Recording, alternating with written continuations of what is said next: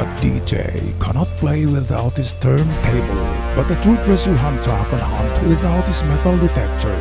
Only by the use of his knowledge in decoding treasure codes inside.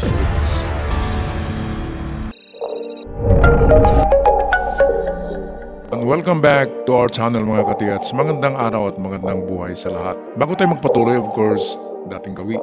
Shoutout tayo kina Anton Hagunoy, Danny Flores, Renato Poster, Silina De La Luca, Batikin Adventure, Christian Carl Napari, LJB Misor, John Romeo Ojige, Gino Ray Manza, Mauricio Paquet, Ginalin Cabunilas, Angelo Nuevo, Bonifacio Manuel. Shout out din kina Aquilino Ardinio, Primar Dapat, Glomar Talantad, Hyacinth Ocfimia, Aquilino Alok, Gals TV, Make That Gals JB, Donel Parami, Inday Arapulos, Dave Yuson, Julio Sidentario, Gwen Hana Lumaino, Elizalde Minjula, and uh, lastly, shout out kina Karil Fai, Jeswan Jade Sarinda, Philip Albarasin, Madrid Jumar, Benny Karamba at sa mga hindi ko nabanggit na pangalan, shout out sa lahat. Tayo na ngayon magpatuloy sa ating analysis.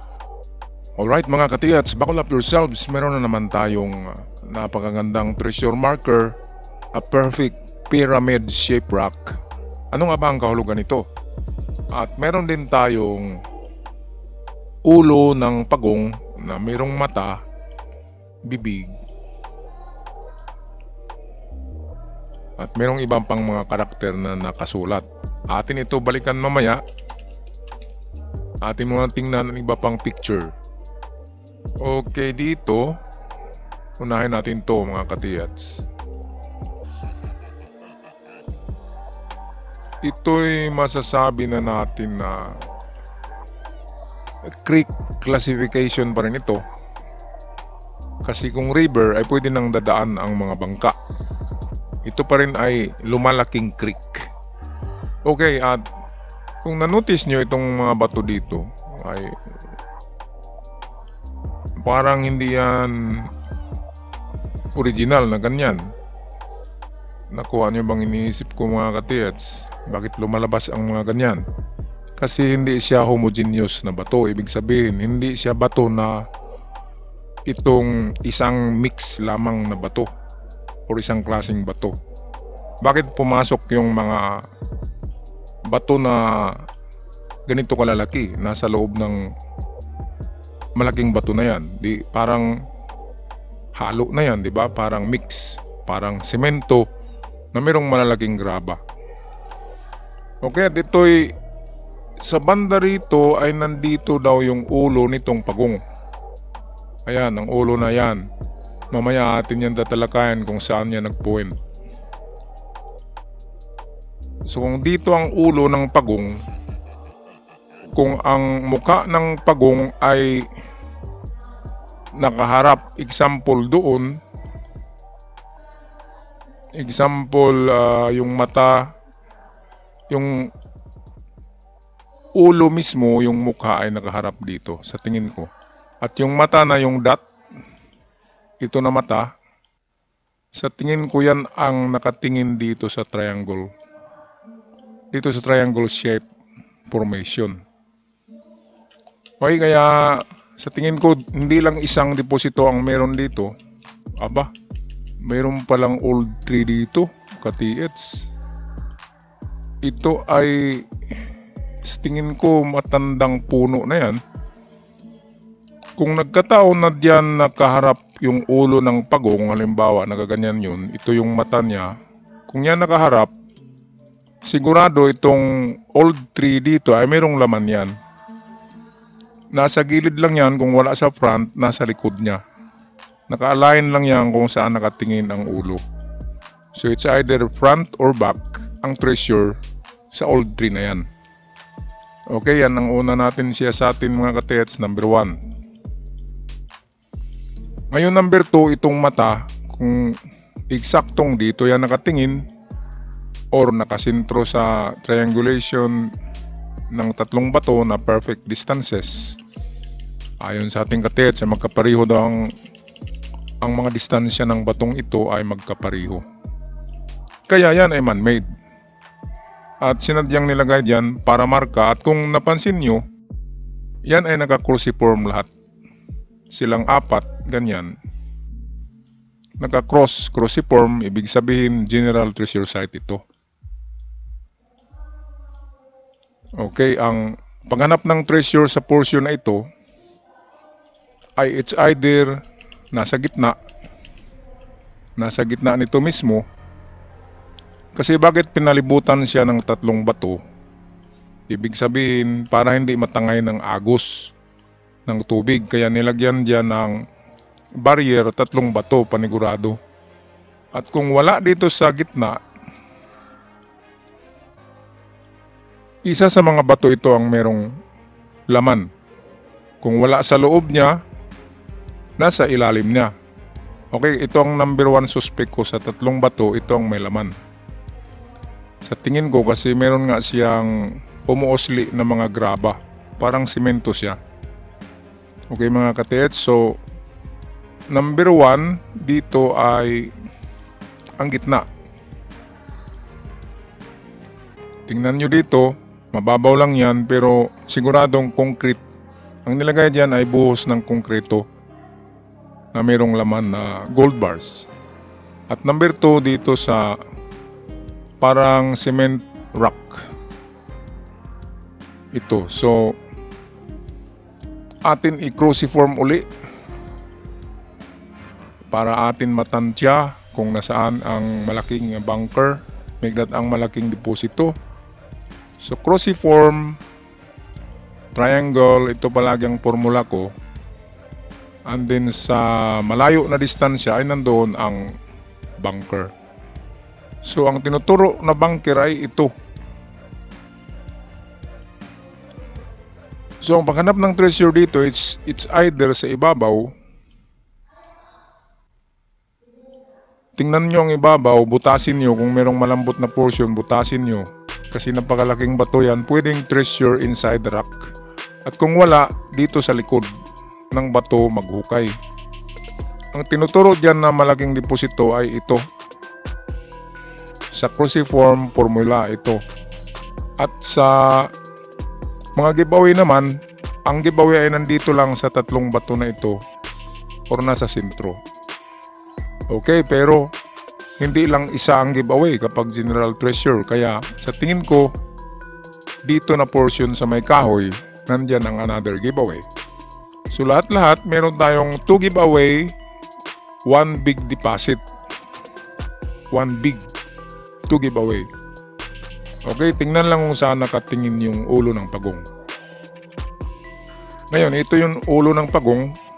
Ito yung mata kung itong kanyang nguso ay nakaharap doon sa kahoy, ibig sabihin nandun sa kahoy ang isang giveaway.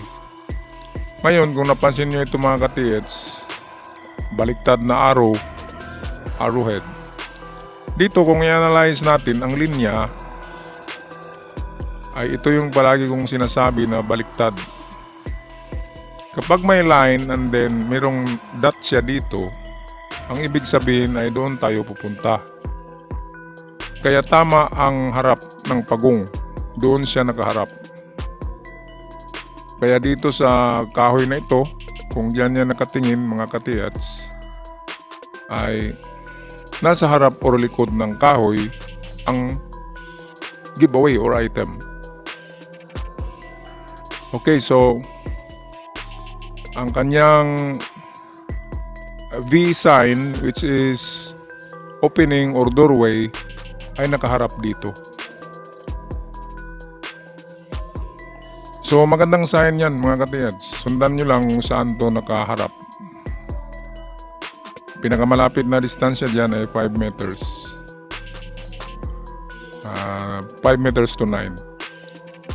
Pero sa tingin ko ang giveaway ay nasa ibabaw lang nitong Bigdat ang may big deposit, kung hindi hollow chamber itong malaking bato, ay nasa likod niya ang dapat hukayin. Kasi naka-align yan dito sa linya, papunta sa likod. Okay, cruciform kasi ang formula ng mga general treasures. Alam yan ng mga treasure hunter ng 1980s, 1990s na cruciform and triangulation. Okay, dito tayo. Kung isa lang ang may-ari ng picture na ito, ito ay jackpot. Jackpot treasure marker. Yan, pyramid yan na merong parang bilog sa dulo. So kung naka side view yan, parang patag lang dyan yan. Na meron siyang parang ganyan. Bilog sa dulo. That means down or baba tayo sentro. Ang ibig sabihin yan, treasure is below. Napakagandang marker nito, ito ay 99% na mayroong laman. Take note mga katiyats, 99% kasi nagaganyan yan. Ang triangle ni, na merong dot, treasure under, jackpot na yan. Treasure below. Perfect marker for treasure. Kaya kung ang bato na ito ay nagaganyan lang yan sa ibig sabihin ay ang bato na yan ay hindi malaki gaano sa ilalim ng lupa. Sabihin natin ganyan yan, ay ganito lang ang nakabaon sa kanya na portion, ibig sabihin ay tinakip lang yan sa hukay. Tulad ng ganito, ito yung bato at ito yung lupa. And then, meron silang hukay diyan na, na nakalagay ang item or ang concrete box. Karamihan ng mga treasure, mga katiats, sa mga novice pa lamang. Karamihan ng mga itong giveaway ay binubuhusan talaga yan ng konkrito para hindi magkawatak-watak, hindi magkatiwalag ang mga gold bars. Minsan lang nangyari na ang gold bars ay nakalagay sa kahon na kahoy. Kasi alam ng mga hapon na ang kahon na kahoy ay nalalata. Kaya kung malalata yan, magkatiwa-tiwalag ang mga gold bars sa tagal ng panahon, mga earthquake, baha, ay medyo magkahiwalay sila. Kaya dapat intact, kaya simento ang binubuhos. Yung nakikita nyo sa mga vlog na nakalagay ang gold, uh, gold sa kahon, na kahoy, tapos imagine 80 years, 80 years ago, ang kahoy ay kahoy pa rin. Maniwala ba kayo dyan? Ang kahoy na nakabaon 80 years ago, lupa na yan sa panahon ngayon. Kaya walang gold bar na nahukay na nakalagay pa sa box na kahoy. Ang totoo niyan. Ang totoo sa nakita ko ay mga recovered gold bars na, na binuhusan talaga ng konkrito. Pero meron ding gold bars na nakalagay sa ammunition boxes na kinakalawang na talaga, latang-lata na. Pwede yon. Meron akong nakitang ganyan sa kabundukan, recovered treasures na nakalagay sa ammunition boxes. Kasi ang mga bakal noon ay treated yan. Ma maganda ang quality ng mga steel, steel plate noong World War II. Kaya nga yung mga truck or mga armas nila noon hanggang ngayon ay mahukay pa rin natin yan at makikita pa rin natin na bakal pa rin siya. Kahit yung mga samurai ng Hapon, matitibay na klaseng bakal. Pero yung kahoy na sinabi ko na box ng kahoy, halimbawa ganito, meron akong mga nakikita niyan, mga treasure hunter na pariner, alam naman natin, vlog lang yan, na nakahukay sila ng mga ancient daw na ginto nakalagay pa sa kahoy na box. Ancient na nga yan. Kung ancient yan, ah, umabot na yan ng 100 years. Kaya wala ng kahoy. Di ba mga, dapat alahas na lang yung makita. Ang kahoy ay nagiging lupa na yun. So ganyan lang yung mga katits. Under this pyramid shaped rock, dahil meron ito, ay sintrong-sintro. Ang lalim niyan, umpisa tayo sa 3 meters. to 5 meters, meron na kayong makita diyan. Pinakamalalim niyan ay 7 sa mga giveaway. At kung 7 meters ang lalim, hindi na yan giveaway. Yan ay big deposit na. Okay, so ganito yan. Nang magbaon sila noon, ito yung surface ng lupa. Hinukay nila ito na portion, hukay sila, hukay hanggang sabihin natin 4 meters. Pangkaraniwan na lalim ng giveaway is 4 meters. Nilagay nila dito ang concrete box. Ito yan.